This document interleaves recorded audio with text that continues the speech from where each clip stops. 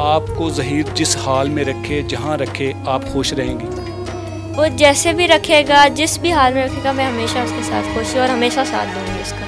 तेरी वो बातें झूठे थे वादे क्या झूठ हमें तंग ना करें हमें जीने दें। मैंने पाक निकाह किया कोई गुनाह तो नहीं किया ना किसी का कत्ल किया जो लोग इतने बुरे बुरे इल्ज़ाम लगा रहे हैं या इस तरह की ज़बरदस्ती हमारे साथ की जा रही है। बालिग लड़की जो है वो अपने मर्ज़ी, अपने हक के फैसले खुद ले सकती है, उसके अपने भी कोई हकूक होते हैं, जो चाहे वो कर सकती है, जिससे चाहे शादी करना चाहे कर सकती है। लेकिन वो शुरू दिन से जानते हैं कि मैं अगवा नहीं हुई, अपनी मर्ज़ी से गई हूँ। मैं घर से निकलने से पहले एक लेटर भी लिख कर आई थी। वो नहीं बता रहे ना, वो झूठ बोल रहे हैं कि कोई लेटर नहीं मिला। उन्होंने कई झूठ बोले, मस्जिद वाला, मेरी उम्र का झूठ बोल रहे हैं। कभी कहते हैं वो अगवा हुई है, कभी हालाँकि सारी चीज़ें सामने हैं।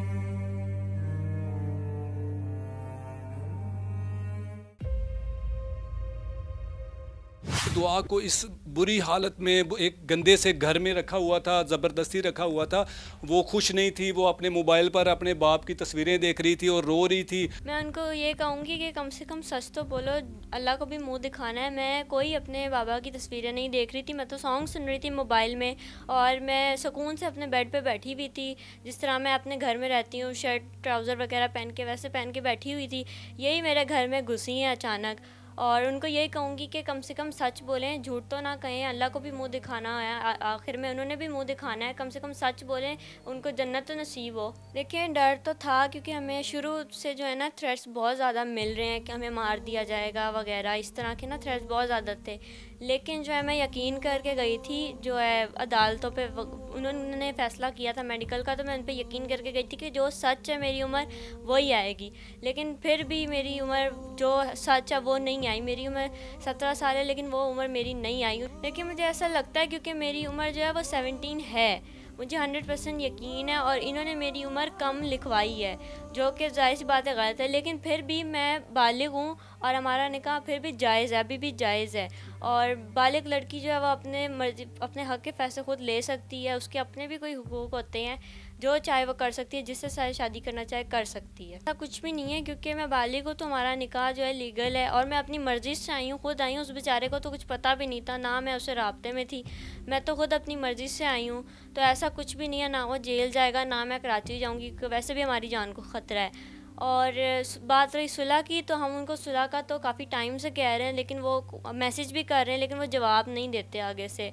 तो यही कहूँगी कि सुलह कर लें तो इसमें सबका फ़ायदा है। देखिए, वो शुरू दिन से जानते हैं कि मैं अगवा नहीं हुई, अपनी मर्ज़ी से गई हूँ। मैं घर से निकलने से पहले एक लेटर भी लिख कर आई थी और लेटर ऐसी जगह लिखा था कि वो कोई भी जाए तो उसको आसानी से दिख जाएगा कि ये लेटर पड़ा हुआ है। वो नहीं बता रहे ना, वो झूठ बोल रहे हैं कि कोई लेटर नहीं मिला। उन्होंने कई झूठ बोले, मस्जिद वाला, मेरी उम्र का झूठ बोल रहे हैं, कभी कहते हैं वो वाह हुई है। कभी हालाँकि सारी चीज़ें सामने हैं।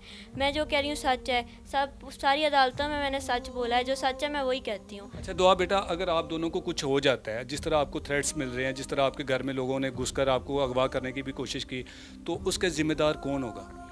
लेकिन उसके ज़िम्मेदार तो मेरे ज़ाहिर सी बात है वालदेन ही होंगे। और ये जो झूठे यूट्यूबर झूठ बोल बार बार बोल रहे हैं ये भी होंगे साथ। आपको जहीर जिस हाल में रखे जहाँ रखे आप खुश रहेंगी। वो जैसे भी रखेगा, जिस भी हाल में रखेगा, मैं हमेशा उसके साथ खुश और हमेशा साथ दूँगी उसका। मैं कराची किसी भी सूरत नहीं जाऊँगी और हमारी जान को हमें क्यों तंग किया जा रहा है? हमारी जान को ख़तरा है।